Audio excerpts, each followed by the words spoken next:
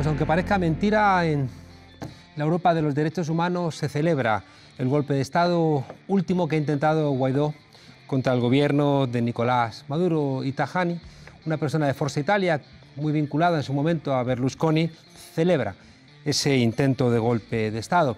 Y los medios de comunicación lo expresan diariamente como un deseo y retransmiten las mentiras para intentar convencer a la ciudadanía de que lo mejor que puede ocurrir en Venezuela es un baño de sangre, aunque después, al mismo tiempo, esos medios de comunicación tienen que informar en los telediarios de las barbaridades que ocurren en Siria.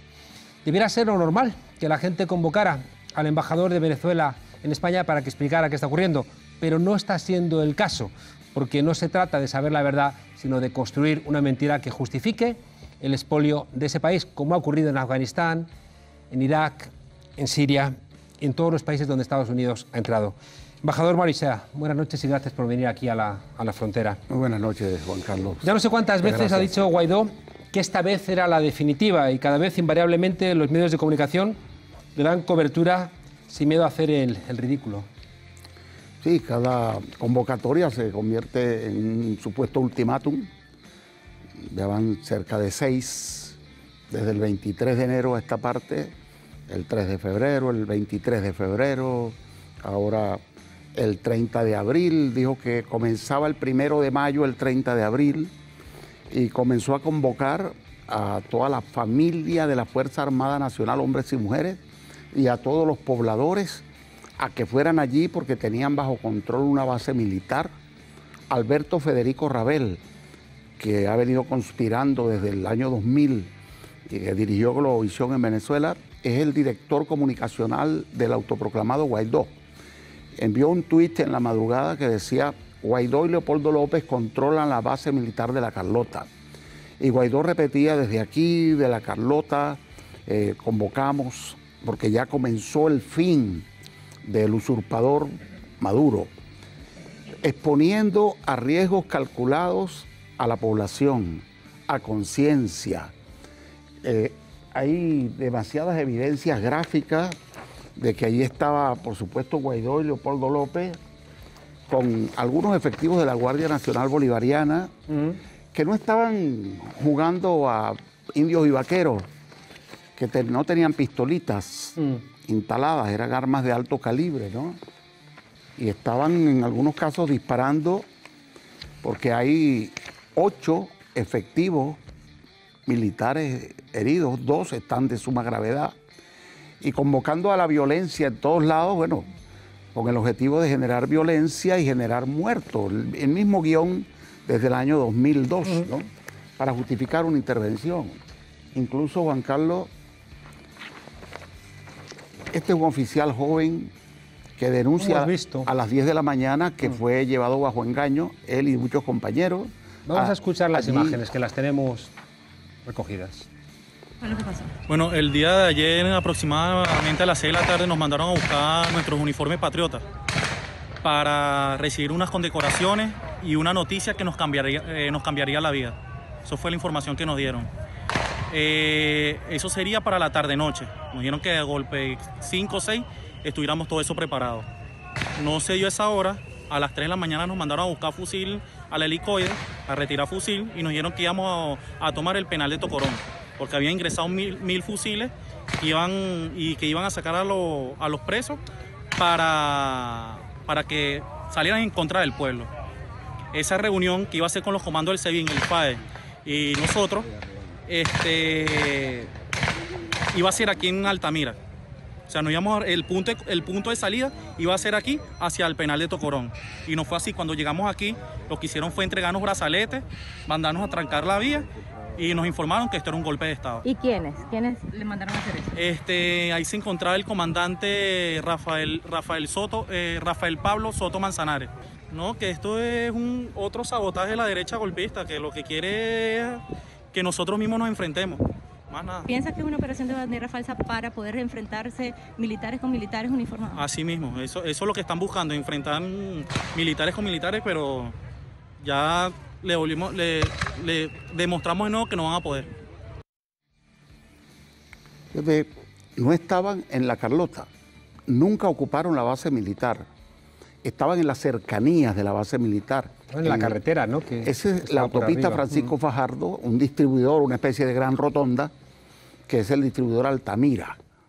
Eh, imagínate tú lo que pasaría, creo que tú hacías alguna referencia, eh, si alguien junto a la base de Rota hace algo como esto, ¿no? ¿Qué le pasaría, no? Pero bueno, el, régimen asesino del, presidente Maduro lo trata con manos de seda, ¿no? Y trata de disuadir, ordena que no, no haya ataque contra los pocos efectivos militares que estaban allí, que luego de que se percatan de la verdad se, se retiran en su mayoría, el 80%, y los dejan solos. No, la convocatoria del pueblo, de la familia de las Fuerzas Armadas no tiene ningún efecto. Es un intento más desesperado por provocar un estallido social, un alzamiento militar que no llega, porque hay demasiada conciencia de pueblo. ¿no? Aquí se, se, silencia esto, por ejemplo. ¿no? estamos eh, Esto fue, en todos los lados que no, sale, no ha salido ninguna información de la cantidad de gente que estaba apoyando el mismo 30 de abril. al gobierno pero lo hacen el 30 de abril, víspera del primero de mayo. ¿Qué sabían? Que el primero de mayo, a diferencia de lo que ocurre en muchos países, los trabajadores marchan contra el gobierno o presionando al gobierno. En, Argentina hay un paro general. En Brasil, no, te digo, por la libertad de Lula y por todo lo que está pasando, ¿no?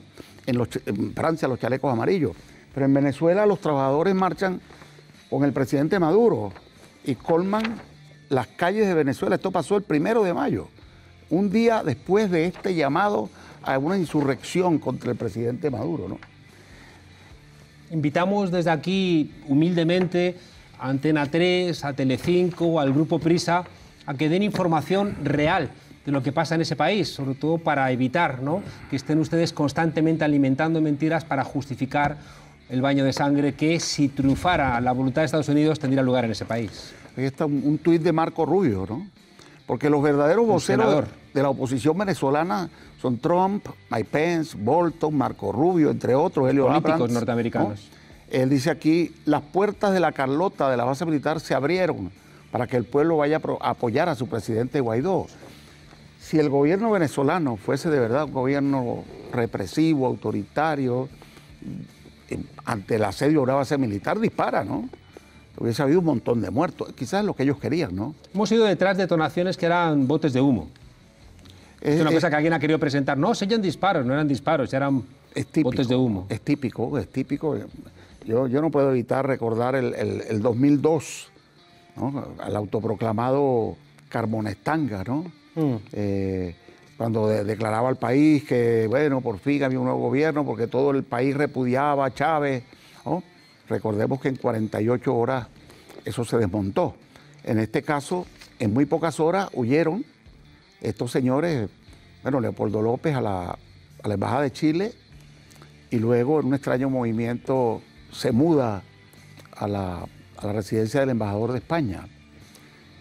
Y evidentemente es un nuevo fracaso hmm. de, esta, de esta convocatoria desesperada a la toma del poder con ayuda internacional para instalar un gobierno de facto.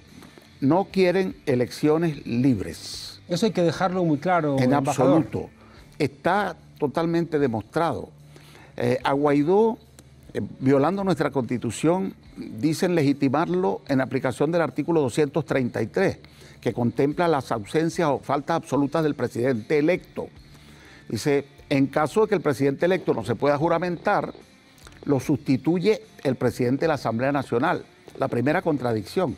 ¿Hay un presidente electo o no? Estaría un presidente electo que no se pudo juramentar, Maduro, porque realmente fue electo.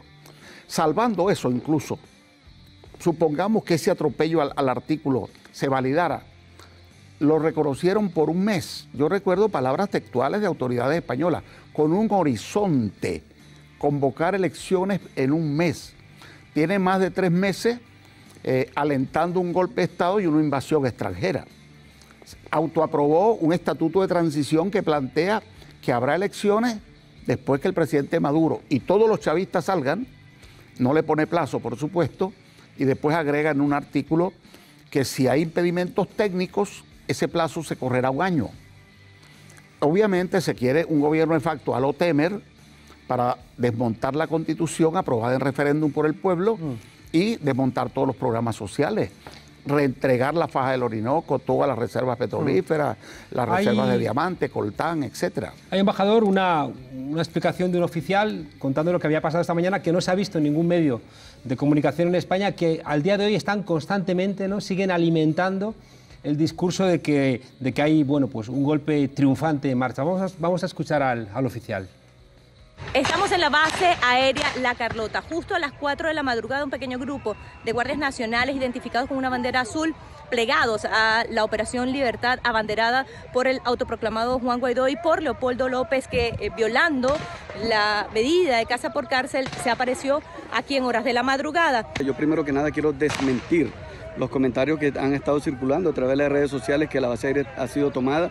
la base aérea aquí estamos todos los oficiales, tropas, eh, personal acá de la base aérea legal, leales a nuestro comandante Hugo Rafael Chávez Frías, leales a nuestro comandante en jefe Nicolás Maduro Moros y también quiero decir que buena parte de ese grupo de efectivos militares, quienes tú mencionaste en estos momentos, se comunicaron desde muy temprano con, mi persona y ya se han replegado y están aquí también en la base aérea La Carlota porque fueron engañados tal cual como ellos este, bien lo manifestaron, una situación bastante vergonzosa para quienes eh, perversamente pretendieron dirigir a estos jóvenes oficiales. Embajador, el, golpe era una sonada sin ningún tipo de, fuerza, sin ningún tipo de apoyo y sin embargo ha servido ¿no? para que otra vez hoy en todos los periódicos del mundo, en todas las televisiones, se está alimentando otra vez. Hay mucha megalomanía, ¿no? Eh, escuché al, ministro de Exteriores, porque yo tengo un profundo respeto, de verdad, por el señor Borrell, pero le escuché decir en, un telediario que se había eh, se había creído, y digo particularmente los Estados Unidos, estaban creyendo que al autoproclamarse Guaidó, Maduro no duraría más de un mes, y ahí está todavía, y que ocurriría un alzamiento militar que no se produce, se difundieron noticias inexactas, falsas, hubo voceros del gobierno español que decían ayer que Guaidó estaría en el centro de Caracas con parte del ejército, que la Fuerza Armada estaba dividida, bueno, ni siquiera habían tomado la base militar. Hay un efecto eh, para, para, el, mundo internacional que les apoya para tratar de provocar la intervención, mm. llamando otra vez, igual que el 23 de enero, me autoproclamo, me reconoce Trump y el grupo de Lima, y habrá entonces una avalancha de pueblo y de militares. El mismo guion.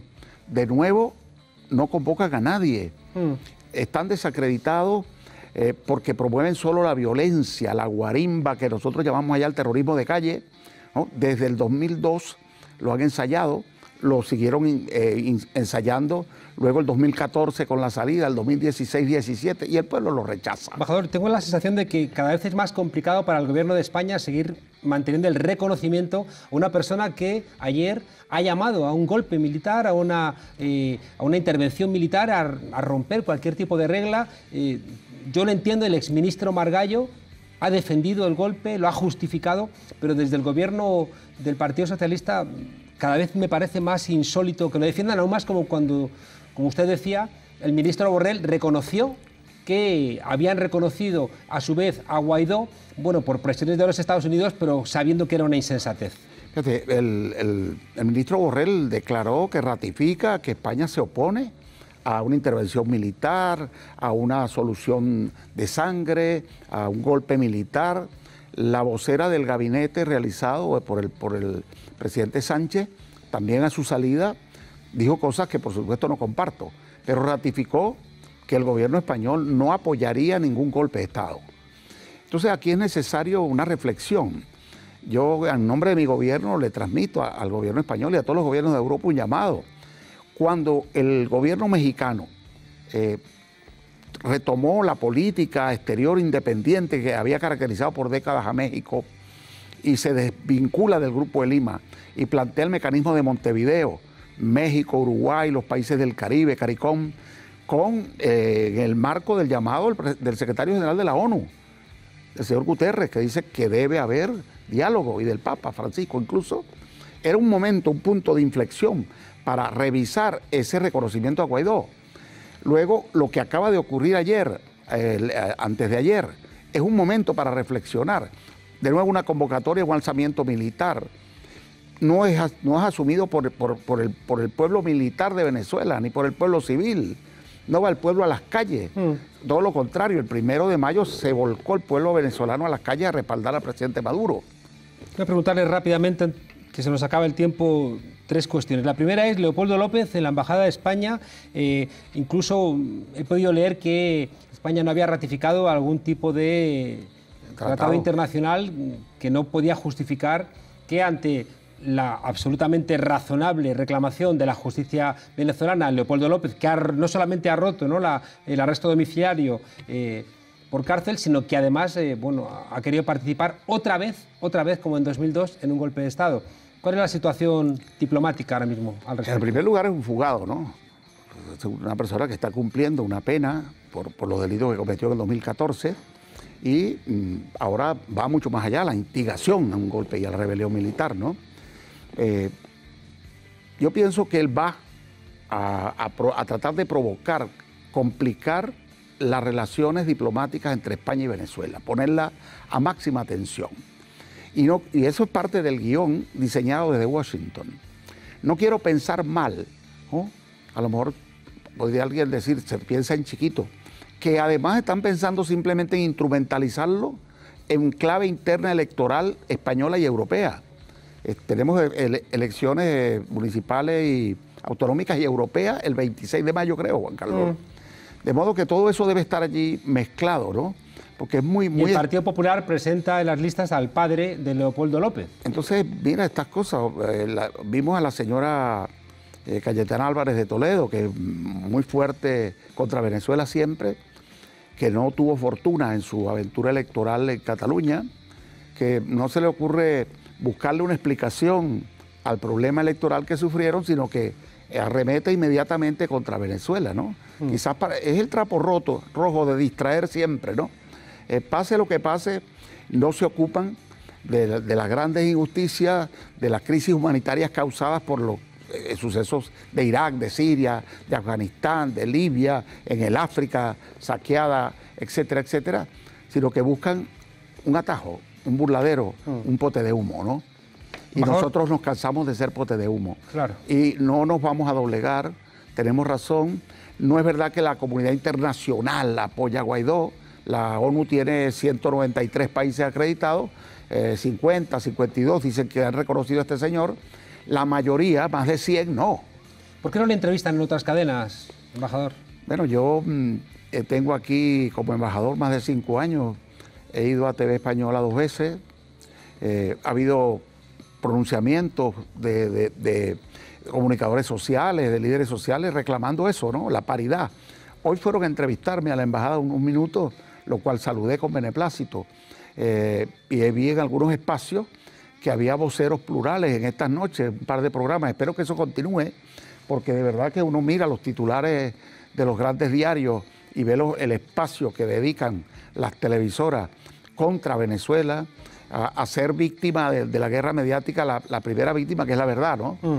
Para despedirnos, embajador, ¿hay planes de diálogo? Porque la situación en Venezuela no parece sostenible, la confrontación alimentada desde fuera, eh, desde dentro. Parece sensato ¿no? que los planes de diálogo lleguen a buen puerto y se, busque una solución institucional. ¿Cómo el, el presidente ha ratificado, llamado al, al diálogo.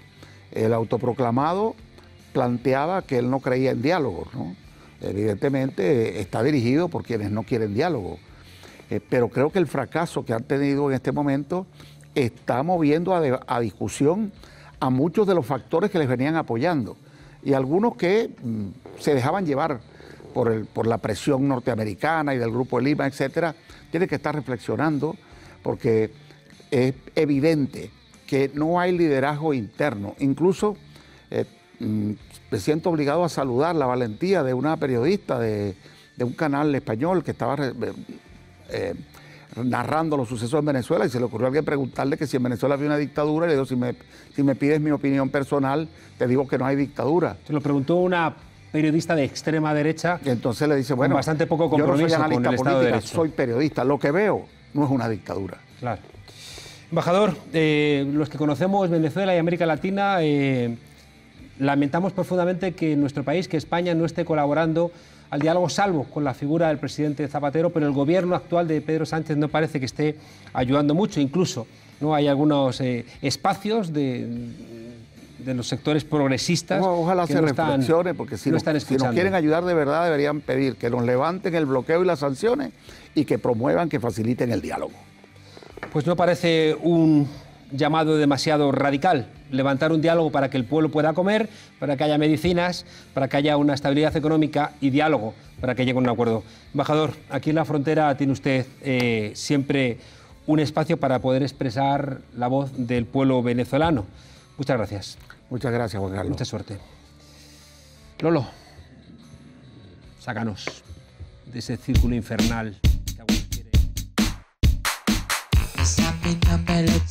Samina it's standing up melodrama, standing up melodrama,